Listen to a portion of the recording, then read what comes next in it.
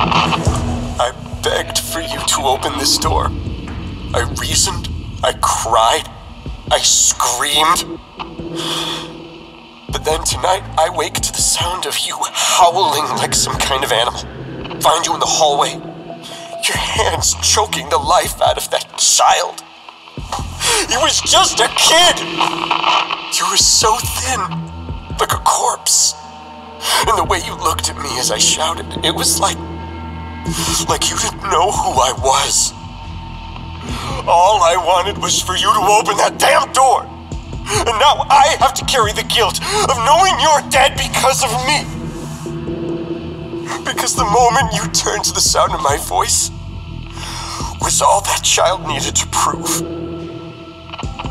The void doesn't just take, it also gives.